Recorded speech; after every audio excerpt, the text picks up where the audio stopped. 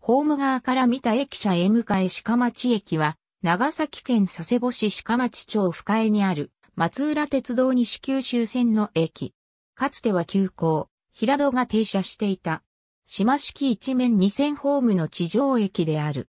無人駅で定期券や回数券は川を隔てた佐世保市、江迎地域の市街地にある西越バス江迎バスセンターで販売している。駅舎は大きな作りで、国鉄時代からの木造駅舎であるが、松浦鉄道への転換後に、かつての事務室側が一部解体されて縮小されている。2005年1月に、最寄りの県立鹿町工業高校の生徒によって整備され、その際、壁面が白、柱が緑色に塗られた。その後、2009年に駅舎脇のトイレが建て替えられ、合わせて駅舎の化粧直しが行われた。ホームとの間は、校内踏切で連絡している。駅舎横にトイレが別に設けられている。かつては待合室の一部を改装してレストランが入居していた。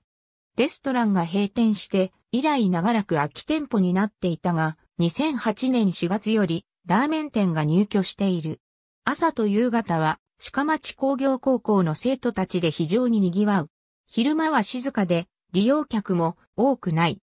毎年8月23日24日には佐世保市江迎地域の中心部で千灯籠祭りが行われるため、この両日は利用客も多く、対応のため職員が派遣される。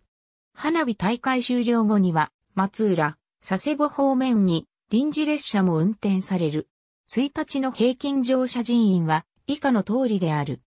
駅の所在地は佐世保市鹿町町深江であるが、駅舎は駅前を流れる江迎川を渡った佐世保市、江迎地域の中心街側に向けて建てられており、松浦鉄道への転換までは、江迎駅を称していた。江迎川に架かる深江大橋の中間が江迎鹿町両地域との境になっている。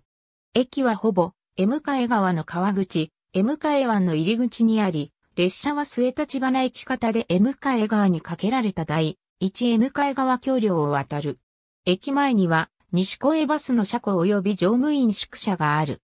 駅前のバス停は、かつては、M 海駅前から、深江大橋に解消され、駅舎から駅前広場を挟んでやや離れた道路沿いに置かれていたが、2010年に駅舎のすぐ前に移転し、M カエ鹿町駅前に解消した。M カバスセンターから鹿町小佐座方面に向かう路線が発着している。江迎駅に関するカテゴリー。ありがとうございます。